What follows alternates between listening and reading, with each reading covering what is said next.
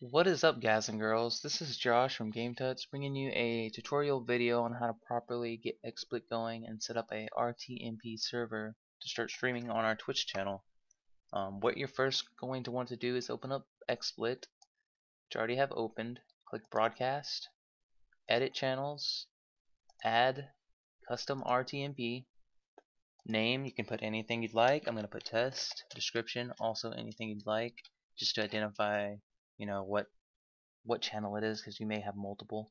Um, RTMP URL this is going to be the URL that allows you to connect to the Twitch servers. Um, you're going to want to go to the link in the description below and it's going to be on a forums area. You're going to want to copy the RTMP link that is closest to you. Ashburn Virginia is closest to me. It's only a state away. And copy this one uh, I'm going to paste it inside the RTMP URL area. And that's it for that. Stream name, you're gonna, this is the token that I, I send to you in a message if you're approved for our Twitch channel. I'm going to paste that in there. Share link, leave that blank. Um, user agent is going to be XSplit.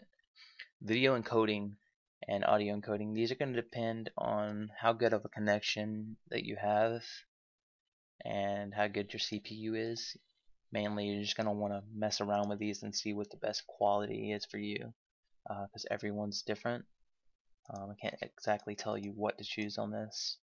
Um, you can leave this blank interleave audio and video into one RTMP channel. Automatically record broadcast. This is up to you. This records everything that you're streaming directly to your computer and hard drive. So I usually uncheck that because I don't really need it and that's about it. Um, that's how you properly set up an RTMP server to get streaming on the GameTuts Twitch channel. I hope this helped.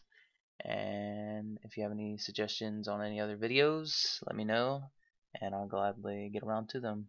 Thanks.